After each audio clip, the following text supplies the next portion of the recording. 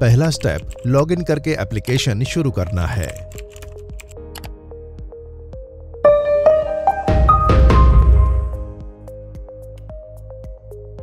आइए देखें कि हम एनालाइज सेक्शन में क्या सीख सकते हैं। सबसे पहले आपको ट्रैक सेक्शन से एनालाइज सेक्शन में जाना होगा।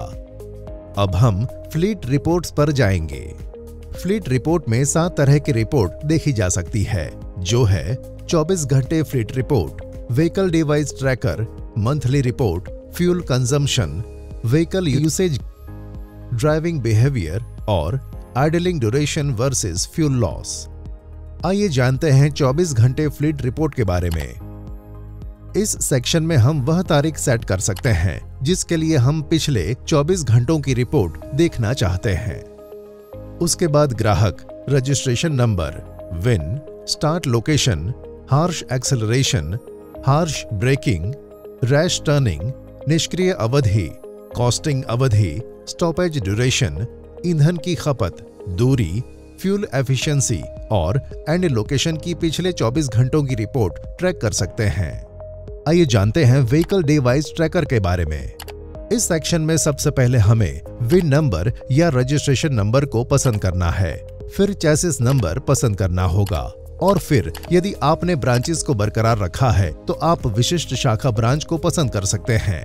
अन्यथा, आप ऑल पर क्लिक कर सकते हैं। फिर आपको वह फ्रीक्वेंसी सेट करनी होगी, जिसे आप देखना चाहते हैं, जो एक मिनट पाँच मिनट पंद्रह मिनट तीस मिनट या साठ मिनट हो सकती है। आइए तीस मिनट के इंटरवल के साथ चलें। इसके बाद आपको उस तारीख को पसंद करना होगा, जिस दिन आप वाहन को ट्रैक करना चाहते हैं। अब हम यहाँ पसंदीदा विशिष्ट चैसिस को ट्रैक कर सकते हैं।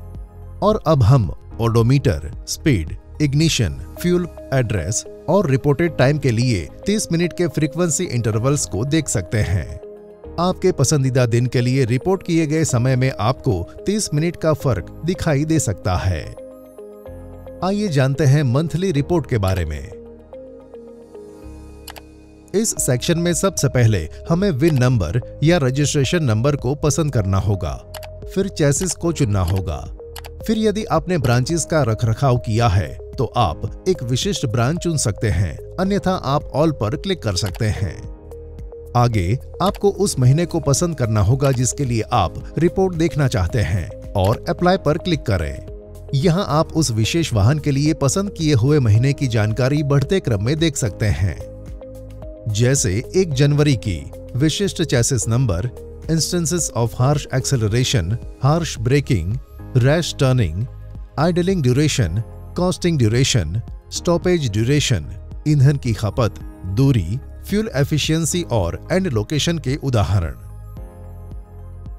आइए जानते हैं फ्यूल कंजम्पशन के बारे में।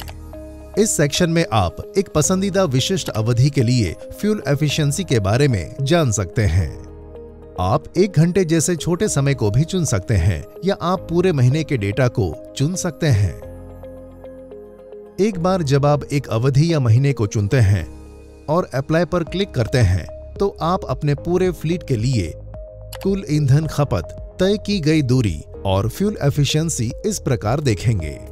यदि ब्रांच को पसंद करते हैं तो आप ब्रांच वाइज डेटा देख सकते हैं। आइए जानते हैं व्हीकल यूसेज के बारे में। इस सेक्शन में आप वर्तमान ओडोमीटर रीडिंग और वाहन का अंतिम बार उपयोग कब हुआ था जान सकते हैं। उदाहरण के लिए यहाँ आप देख सकते हैं कि वाहन 14 दिसंबर से उपयोग में नहीं है। आइए जानते हैं ड्राइवर बिहेवियर रिपोर्ट के बारे में। इस सेक्शन में आप पसंदीदा समय के लिए total harsh acceleration harsh braking rash turning निष्क्रिय अवधि कॉस्टिंग ड्यूरेशन और स्टॉपेज ड्यूरेशन को देख सकते हैं। आइए idling duration versus fuel loss के बारे में जानें।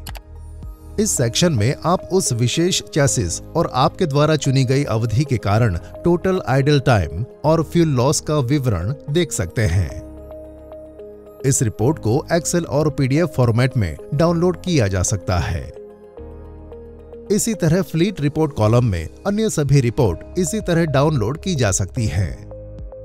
आइए जानें फ्लीट ट्रेंड्स के बारे में फ्लीट ट्रेंड्स सेक्शन में सात तरह के ट्रेंड होते हैं।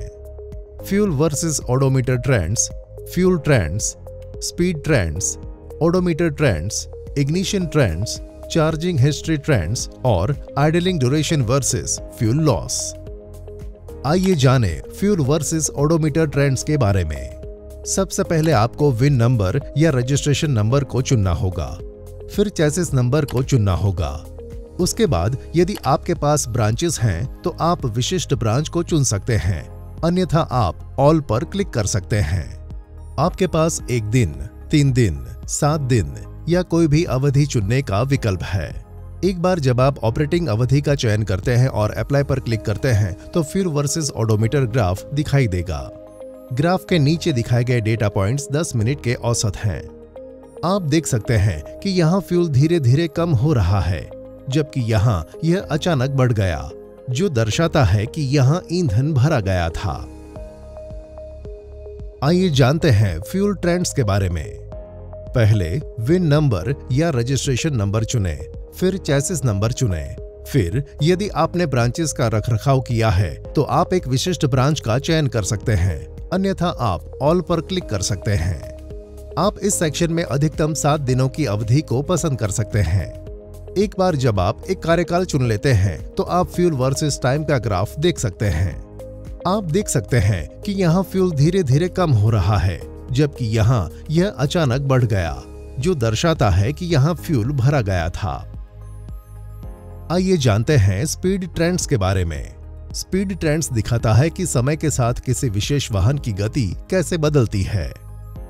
ओडोमीटर ट्रेंड में आप ओडोमीटर वर्सेस टाइम का ग्राफ देख सकते हैं। इस सेक्शन में आप देखते हैं कि आपके वाहन का ओडोमीटर धीरे धीरे कैसे बढ़ रहा है। इग्निशन ट्रेंड में आप देख सकते हैं कि आपका वाहन कब चालू या बंद था। Idling duration versus fuel loss में आप उस विशेष चैसिस के लिए कुल निष्क्रिय मिनटों और उसके कारण फ्यूल लॉस का विवरण और पसंदीदा अवधि को ग्राफ के रूप में देख सकते हैं।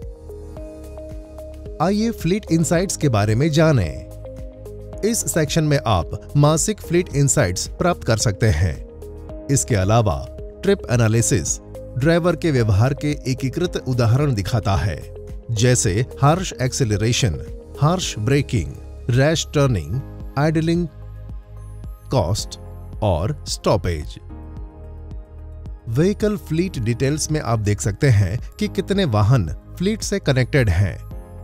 कितने फ्लीट से कनेक्टेड नहीं है और कितने जुड़े हुए हैं। यदि आपने ड्राइवर मास्टर में ड्राइवरों की सूची दर्ज की है तो आप इसे यहाँ देख सकते हैं। आप यह भी देख सकते हैं कि कितने सूचीबद्ध ड्राइवर ट्रिप पर हैं, कितने उपलब्ध हैं और कितने छुट्टी पर हैं।